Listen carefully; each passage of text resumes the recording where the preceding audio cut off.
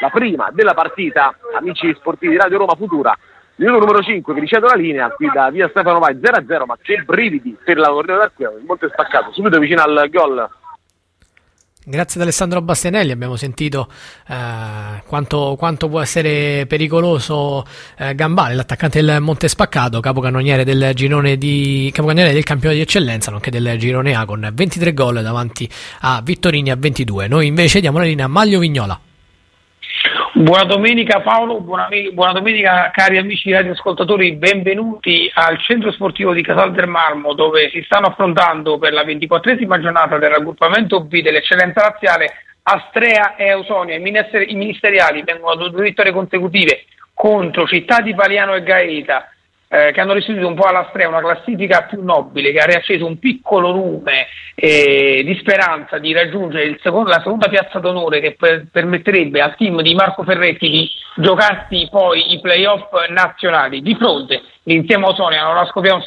stamattina, la formazione di Sasa Amato, prima in classifica di questo raggruppamento B, è un po' lo schiacciasassi di questa stagione del girone B che si trova a 8 punti di distanza dalla seconda, quindi vuole mantenere invariato lo scettro eh, della, di questa leadership della classifica, una Osonia che mai come quest'anno è stata costruita per un campionato importante e tutte le aspettative stanno comunque dando soddisfazione all'operato di, eh, del presidente Anelli che da due o tre stagioni sta provando con questa squadra di mantenere la categoria dell'eccellenza e di raggiungere traguardi importanti o uh, come, mai come quest'anno una storica Serie D che non si è mai vista dalle parti di Ausonia, un piccolo paese che si trova nella bassa ciociaria a Madonna del Piano che eh, potrebbe veramente regalarsi un sogno, quello di eh, entrare nel, nel primo campionato nazionale. Andiamo alle letture delle formazioni, cominciamo con la Strea che schiera questa formazione con Spilabotta, eh, Cruciani, Briotti, Mollo doveva essere della partita il capitano della Strea, però per una contrattura proprio all'ultimo istante ha lasciato, il, il, ha lasciato uh, forfè e quindi al suo posto gioca Thomas Amico. Buona volontà, Metroni, Di Benedetto, Di Iorio che è il capitano della Strea, Cipriani e Lorenzo Aglietti, attacco a due punte per mister Marco Perretti eh, a, a, disposizione di Marco Ferretti siedono in panchina De Santis, Dolce, Monti, Dionisi, Bangarelli, Botti, eh, Maiu, Maiuri, Giuntoli e proprio eh, Mollo. A disp- eh, risponde la Strea, eh, risponde l'insieme Osone, scusatemi, con D'Angelo, Quirino Pirolossi, Gargiulo Ottobelli, Puccinelli, Zonfrili, Di Vito, Palumbo, Francesco Prati e Bianco. A disposizione di Sasà Amato siedono in panchina Rossini, Ranieri, Carracino, Polverino, Fammiano, Tuca, Monaco di Monaco che inizialmente in panchina, l'attaccante che proprio all'andata regalò la vittoria dell'Ausonia in rimontata, ricordiamo che all'andata seguì proprio la partita per questa emittente.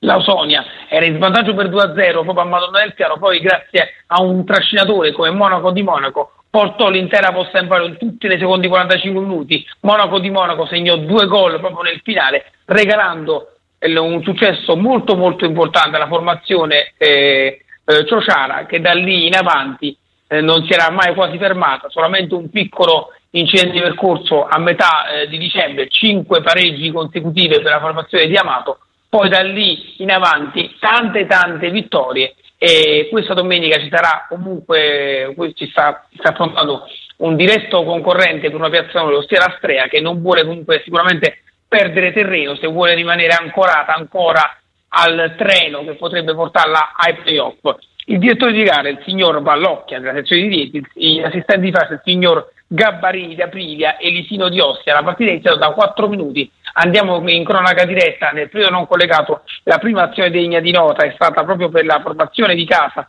con un tiro eh, da, da, parte del numero 4 della Strea e eh, del numero 5 della Strea una conclusione di Cipriani smorzata, pallone abbondantemente al lato, quindi conclusione che non è entrata nello specchio della porta. Comunque tentativo interessante per i misteri proprio nei primi minuti, il gioco ancora fermo, c'è una rimessa laterale a, a, per, per, la, per, la, Strea quando i minuti sono 8, la partita è iniziata due minuti in ritardo rispetto agli altri terreni di gioco, rimessa laterale battuta dalla Strea, dalla, dalla, dalla, dalla, dall'Ausonia con buona volontà riprende le, le, il possesso palla la Strea con il numero 9 esattamente Palumbo, Palumbo che si gira bene e serve, serve un avversario esattamente il numero 10 fra, eh, fra eh, il numero 11 Aglietti, Aglietti serve il pallone al compagno di squadra numero 6 buona volontà ancora, ancora la Strea si gioca in un fazzoletto riprende il gioco la, la, l'Ausonia che lo riprende con il numero 7 Petroni che amministra il gioco servendo un compagno di squadra esattamente di Benedetto anticipato il giocatore numero 7 si riprenderà con una rimessa laterale per insieme a Ausonia siamo nelle battute iniziali sicuramente una partita importante per entrambe le formazioni. Una l'Ausonia per trovare dico, come ho detto qualche istante fa una, uno storico piazzamento in Serie D, eh, anche se ci sono ancora tante tante partite da giocare per l'insieme solo da qui alla, alla triplice, alla, al termine della stagione siamo solamente alla ventiquattresima giornata, ancora 10 partite importanti, però il margine importante, 8 sono i punti di distanza sulle seconde, proprio il Gaeta, sconfitto proprio a Riciniello dall'Ausonia qualche settimana fa. E riprende adesso in possesso palla l'Ausonia con il numero 4 esattamente Gargiulo che si fa anticipare da un giocatore, si gioca, pass- si gioca nella metà campo della Strea, riprende in possesso palla la formazione ministeriale, lo amministra un pallone benissimo con Di Benedetto, Di Benedetto che serve il pallone al numero 9 esattamente di Iorio, di Iorio che ricordiamo a fine stagione probabilmente darà eh, Dio al calcio giocato, chissà se poi lo vedremo sicuramente su qualche panchina. Di Iorio che compierà proprio 40 anni il prossimo giugno. E ancora in possesso palla con la Strea, con il numero 6, esattamente Cipriani, attenzione, il numero 6, il terzino che serve il pallone a Petroni, pallone in mezzo, D'Angelo con un pugno eh, respinge il pallone fuori dall'area, quindi per il momento ti restituisco la linea allo studio, eh, diamo linea agli altri campi. Insieme a Usonia 0, a Strea 0, a Casal del Malmo siamo giunti al decimo minuto, linea allo studio. Grazie anche a Maglio Vignola, noi ci spostiamo nel girone A di eccellenza, esattamente all'Ottavio Perangeli dove ci aspetta Alessandro Natali per Real Monterotondo Scalo Cinzia, 27 punti di stacco tra le due squadre, Cinzia abbiamo detto ultimo in classifica, ancora con la speranza di eh, salvarsi magari tramite i playout, il Real Monterotondo Scalo che deve rimontare 5 punti al Monte Spaccato. Buongiorno Alessandro. Buongiorno Paolo, buongiorno agli amici ascoltatori che ci sentono su www radioromafutura.it, siamo qui all'ottavo Pierangeli di Monterotondo Scalo, 13 minuti e 20 nel corso del primo tempo tra Real Monterotondo Scalo e Cinzia Genzano, 0-0 il risultato, eh, la settima di ritorno del girone B di eccellenza, girone A chiedo scusa, di eccellenza 2019-20 e ci sono state diverse occasioni da rete in questi primi minuti, al secondo un, un tiro da posizione di filata da parte dei giocatori di casa, deviato in calcio d'angolo da Sciarra. Un minuto dopo il portiere ospite si ripete per una gran conclusione di Lalli. A testo c'è un calcio d'angolo, il terzo in favore della formazione di Centioni. Poi al settimo minuto Lupi da palla a Politano, respinto da Sciarra, la conclusione del numero 4 di casa con la difesa ospite che allontana la minaccia. Poi al tredicesimo, una, praticamente un minuto fa, una traversa di Pascu, un gran tiro da parte dell'attaccante di origine rumena con la palla che coglie la traversa della porta di Pietro Sciarra.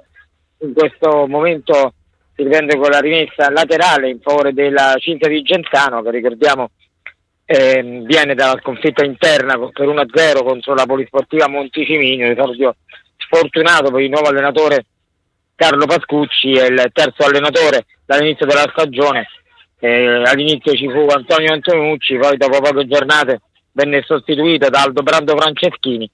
Questa è la seconda partita con, in panchina. L'ex difensore di Ascoli, tra le altre, di Ascoli e Fiorentina. Eh, mentre il Real Montero è ultimo in classifica con 17 punti il eh, sodalizio gentanese, mentre il Real Monterotondo Scalo è secondo con 44 punti in compagnia della Tivoli, a meno 5 della capolista Montespaccato Tavoglia. Andiamo a leggere le formazioni, la Cinzia in campo con Sciarra, Bussone, Paloni, Alongi, Massimiliani Di Iori, Menestrina, Gallice, Carelli, Marchioni, Zambrini. A disposizione di mister Carlo Pascucci ci sono Peri, Ruggero, De Angelis, Cavaterra, Corse, Fortuna, Cannillo, Fabiani e Bianchi. La formazione di casa, ossia il Real Monterotondo Scalo che in questo momento sta attaccando e attacca da sinistra verso destra per, rispetto alla nostra postazione, rispetto al nostro punto di vista, il Remo Rotondo Scalo scende in campo con Baldinetti, Dorazzi, Vaschiatore, Politano, Albani Tiralli, tira Salanzoni Pascu con Lacchi Lupi. Il tecnico, mister David Centioni, porta con sé in panchina per eventuali cambi in corsa ci sono Santi, Fornetti, Braccio, Pasperi, Bravido, Tigli, Abbondanza, Baldassi e Palma. L'arbitro dell'incontro, il signor Wael Aburuca, della sezione di Roma 2. Gli assistenti sono il signor Marco De Bellis della sezione di Frosinone, il signor Gabriele Mari della sezione di Roma 2. In questo momento il gioco è fermo, c'è un giocatore della 5 a terra, si tratta di Massimiani, numero 5 e capitano, 16 minuti e mezzo nel corso del primo tempo che alla Pierangeli è 0-0 risultato e io restituisco la linea allo studio.